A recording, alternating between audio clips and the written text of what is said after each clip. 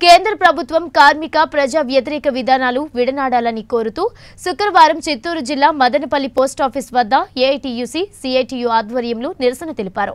ఈ సందర్భంగా కార్మిక సంఘాల నేతలు మాట్లాడుతూ కార్మిక చట్టాల్లో మార్పు తేవడం పని గంటలు పెంచడం ప్రభుత్వ రంగ సంస్థలను ప్రైవేట్ పరం చేయడం మరియు డీజిల్ పెట్రోల్ ధరలు పెంచడం ట్యాక్సులు పెంచడం మానుకోవాలని డిమాండ్ చేశారు. ఈ కార్యక్రమంలో ఏఐటియుసి నాయకులు ముబారక్ సిఐటియు నాయకులు శర్మ సిపిఐ సిపిఎం నాయకులు సాంబశివ శ్రీనివాసులు మురళి రాజ్ కుమార్ తదితరులు పాల్గొన్నారు.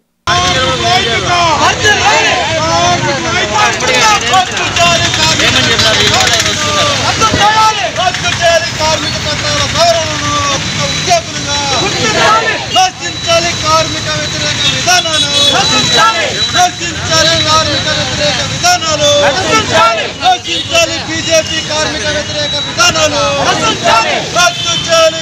కార్మిక ఈరోజు కేంద్రంలో ఉన్న ప్రభుత్వం ఇలాంటి చర్యలు తీసుకుంటుంది. మరి దీనికి నిరసనగా ఈరోజు దేశంలో ఉన్నటువంటి తొమ్మిది ట్రేడ్ యూనియన్లు ఈరోజు నిరసన కార్యక్రమానికి పిలిపించాయి కాబట్టి అందులో భాగంగానే ఈరోజు చిత్తూరు జిల్లా మదనపల్లిలో కార్మికులందరితో కలిపి ఏఐటియుసి సిఐటియు మిగతా ట్రేడ్ యూనియన్ల ఆధ్వర్యంలో నిరసన చేపట్టడం జరిగింది.